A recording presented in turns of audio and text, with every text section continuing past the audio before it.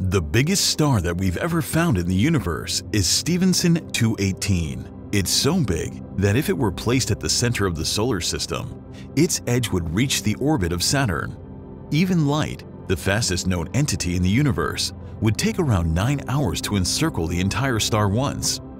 And if you fly around it in an aircraft traveling at 925 kilometers per hour, it would take 500 years to go around it.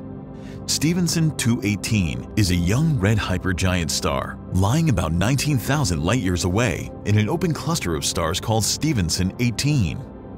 Currently, the star is about 440,000 times more luminous than the Sun. As it ages, it will continue to grow larger and brighter, eventually ending its life in a spectacular supernova, forming a black hole.